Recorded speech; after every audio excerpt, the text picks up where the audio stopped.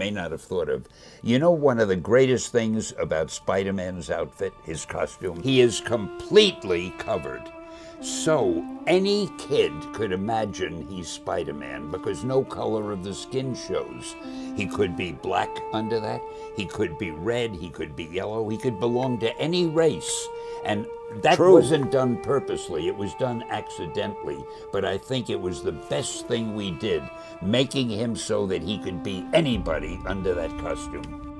Anyone can be Spider-Man. That sentiment often attributed to creator Stan Lee in some form has always been the core of what makes the character perhaps the world's most famous superhero so accessible. It's the idea that by donning the mask, anyone could step up and be Spider-Man. Regardless of their race or gender, it became the central thesis for the excellent 2018 film Into the Spider-Verse, which widely popularized not just Miles Morales as the webhead but a slew of variants from across the multiverse. But it's also not entirely true, at least not in the video games. Since the dawn of Atari, there have been dozens of Spider-Man games, and despite the occasional hidden gems, most developers have struggled to embody what makes the wall crawler work. It isn't about the power fantasy or the rogues gallery, it's about the little things. It's about being the person behind the mask, whoever they may be. That's what 2018's smash hit Marvel Spider-Man got correct, and it's what makes its sequel to 2023's PlayStation 5 exclusive Marvel Spider-Man 2 the pinnacle of Spider-Man's storytelling, or I should say one of the best storytelling when it comes to Spider-Man. The first thing I noticed about Marvel Spider-Man 2 is the speed. Whether you're throwing down with an alley full of arsonist thugs or pirouetting between skyscrapers, Spider-Man 2 is at its best when you're just moving so fast. Marvel Spider-Man 2 won me over immediately because you don't lose any of the abilities that you pick up during the games that came before it. Or at least I didn't immediately notice anything missing. As a result, if you're familiar with getting around New York City in the Marvel Spider-Man or the standalone Miles Morales adventure, you'll immediately feel right at home. Many of the new traversal abilities just adds to your existing toolkit for getting around. And going places is so much fun that it will keep you entertained through several of the game's more route fetch quests. The best of these additions in my opinion are the web wings. Ridiculous armpitted mounted wings that allow you to glide around the expanded open world like some kind of a flying spider squirrel. You can fit glides in amongst the swing and web swing to get a little boost of speed. But these moves are also an effective way to get around when the nearby buildings are just so low to the ground. Essentially now that you can cross the river from Manhattan and venture out into other boroughs. The first thing I want to talk about this game is the combat. The combat in this game is similarly fast-paced and frenetic. Most fights will involve you bouncing between enemies to knock them up on the air, or slithering between their legs as you pinball around and dishing out violence in every possible direction. You have a fair bit of control, but really you're just gently suggesting how the fight goes. It isn't precise in my opinion, but it's a lot of fun to play. The gadgets offer some valuable firepower and can change the makeup of a fight as they get more powerful and harder. And believe me, the fights in this game, they get real hard.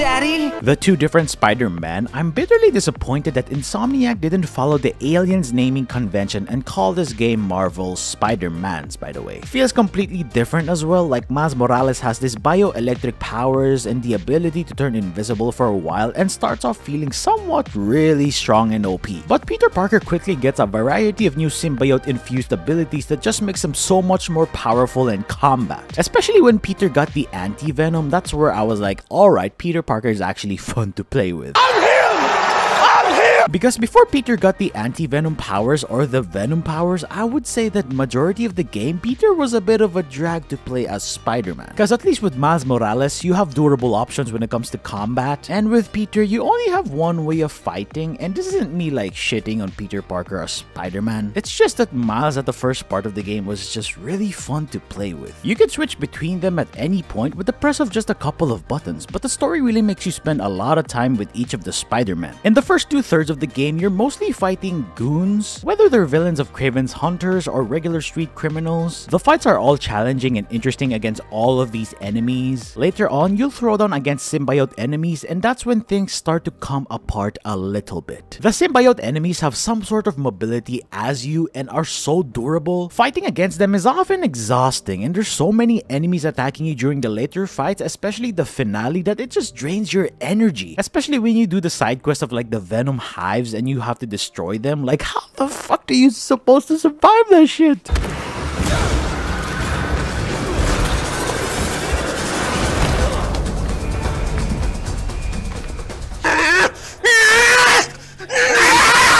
But still, the strong story kept me going even as my enthusiasm was starting to wane. Marvel's Spider-Man 2 tells an authentic comic book saga with a lot of moving parts and complicated characters throughout its runtime. The threats also come and go frequently. You don't really see Venom since he's like the game's headline villain until nearly two-thirds of the way through, but you'll definitely feel his influence throughout as you see the symbiote's impact in all over New York City. He's kinda like Lord Voldemort in a sense where you don't really see Lord Voldemort that much in the Harry Potter movies, but you can definitely feel like he's just lurking in the darkness. The next thing I want to talk about this game is the subtle changes, and before I talk about any changes, can I just say that Peter Parker in this video game kinda looks like Austin Reaves from the Los Angeles Lakers. Yeah, he definitely is him. But something really interesting that really caught my attention is the way that Marvel Spider-Man 2 keeps you playing as Peter Parker even as the symbiote starts to affect him negatively.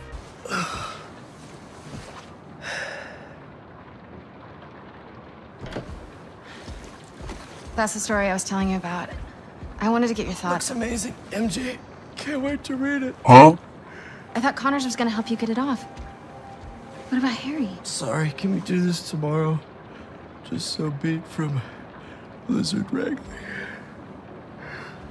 I got that thing on me. I got that stick. I got that tool. I'm packing. Parker goes from the friendly neighborhood Spider-Man to an angry anti-hero while under your control as the player. And while he doesn't notice the change, you will definitely feel it in the way he fights, in the way the quips he delivers aren't so much barbed as delivered with the force of a sledgehammer. Like Black Suit Peter Parker does not hold back. This suit is the only reason I'm still alive. Yeah, it's pretty great, isn't it? Why don't you pop some more pills and say what you really feel? The truth is, I'm the hero here, not you. I am the hero, so shut up! By letting you play through this, the game delivers something I've never seen before. Building up this gargantuan threat so that when it comes time to deal with the symbiotes once and for all, you've already bought into the story. That story is paired with a tremendous sense of spectacle. From the opening of the game where you fight a skyscraper-sized Sandman, to its climactic final fight, I mean the action rarely lets up. A late game section where you control as Mary Jane as it switches to a third-person shooter while she's blasting symbiotes is just so ridiculous that I kinda laughed because it kinda reminded me of Gears of War. and that was one of the problems that I had with MJ in the first Spider-Man game is that I was a bit of like, eh, do I really need to play as her? I don't think so. But in this game, I would say that MJ is so playable, she's so different, and she's probably OP. Like this chick is literally taking out Kraven hunters, and I'm like, bruh, how the fuck are you trained by one of the strongest animal hunters, and you're getting your ass spanked by a reporter?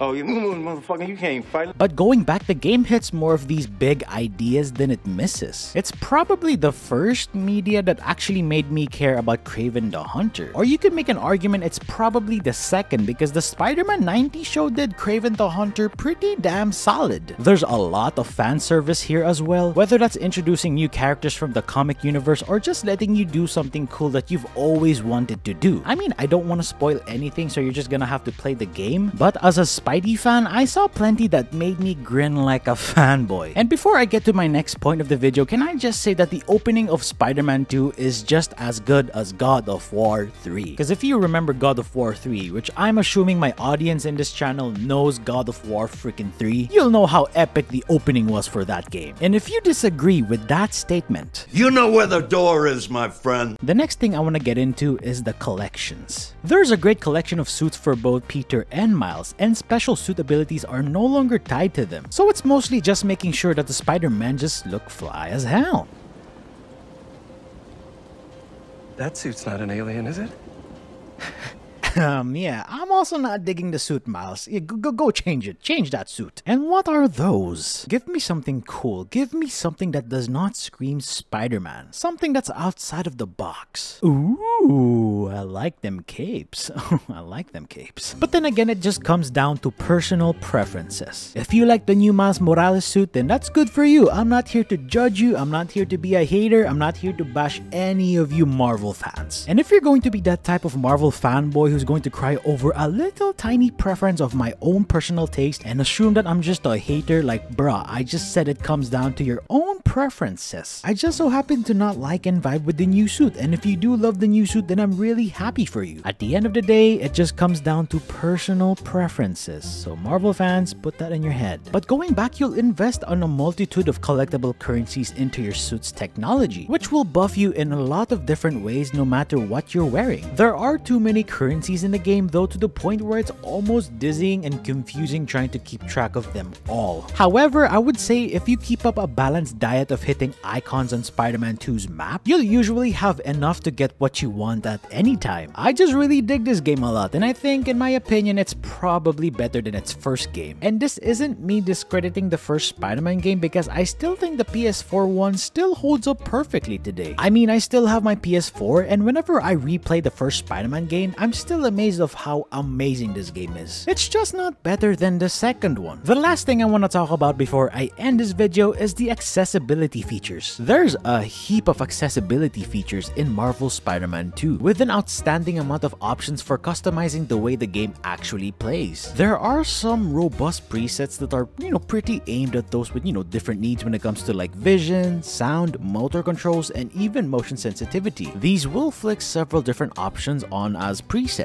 These options and several more are available to help with requirements and the options in this game are just so vast. Toggle switches allow you to reduce the game's speed, make chases easier, simplify puzzles, or even make the melee attacks and dodge trigger by holding the button rather than just, you know, tapping them repeatedly. I know, I know, I feel like I'm nitpicking like a little twat, but this feels like the gold standards when it comes to video game accessibility features. Hopefully other gaming studios take note of this just because having a lot of options on how you want to play your game really does help the game a lot. Especially for a versatile game like Spider-Man 2 where yes, there's a linear story where you have to follow but at the same time it's also an open world game. What makes the game so special even among the Spider-Man media that we get these days is its ability to let players relish the little details. Like Stan Lee said, the beauty of Spider-Man is being him. And while Peter's section mostly pushes the narrative forward in operatic ways, the Miles Morales section makes up the soul of the game in meaningful ways. Much of his storyline is centered around the friendly neighborhood part of Spider-Man. And it's here where the immersion and the length provided by the video game medium set this title apart from prints and movies. Whether it's helping the same-sex high school couple go to a homecoming or tracing Harlem's musical history and defending it from those who hope to co-op it. There's an inclusivity and realness to Miles' story that just comes through moment to moment that's unparalleled in most games. There's one particular side quest that I really want to talk about that really illustrates this the best is a pretty small one. You're basically tasked with finding a missing grandfather. The player must track the man across Brooklyn at the behest of his granddaughter and caretaker. It culminates not in an action set piece but a quiet moment where Miles sits with an elderly battling dementia, ruminating in Prospect Park at the place he proposed to his late wife, reflecting on how these memories will soon be lost to him. It's a stark reminder to Miles and you as the player that this world is populated by real people with their experiences, and that is worth fighting for. It's thoughtfully crafted moments like this alongside the hyper-polished if not revolutionary gameplay that elevated Marvel Spider-Man 2 above many other single-player experiences as well as most other Spider-Man media. That isn't meant to take away from the achievements of successful works like Across the Spider-Verse, but for those like myself who are more than a little tired of the multiversal overload of today's entertainment landscape, where even great stories require ripping through the space-time continuum to find something worth telling. It's comforting to know that there's room for Spider-Man stories that are told on the grounded level. Marvel Spider-Man 2 excels at weaving together a web of poignant and personal tales that everyone can relate to, which is anyone can be Spider-Man. Which is pretty goddamn surprising that this game barely won nothing at the awards. Like, nothing! Now, obviously, there's a ton of hype around Baldur's Gate 3, which I have played and enjoyed a lot. Especially since I'm also a big fan of CRPG games or D&D style type of games like Dragon Age Origins. And if you like Dragon Age Origins, I guarantee you, you will love Baldur's Gate 3. It's basically a CRPG game, but also a successor to Bioware games like DA, KOTOR, and Mass Effect, and obviously the original Baldur's Gate games if you're, you know, pretty old to play it like I was. And I understand the level of, you know, replayability from having vastly different playthroughs based on decisions you've made is exceptional. That certain freedom to roleplay with a specific set of rules and limitations and having a totally different experience is just the best. So I fully understand the hype for Baldur's Gate 3, I really really do. But I still think Marvel Spider-Man 2 should have at least won Game of the Year, in my opinion. And look, this isn't me downplaying Baldur's Gate 3 like some internet troll or hater like some y'all are. I mean, I've given the game its praises, but damn, Spider-Man should have at least won one award, just one award. Like if I were to rank the Game of the Year nominees, I'd put Marvel Spider-Man 2 at the first spot, Baldur's Gate 3 at the second spot, Legends of Zelda Tears of the Kingdom at the third spot, and RE4 at the fourth spot, Alan Wake at the fifth spot, and Super Mario Wonders at the last spot.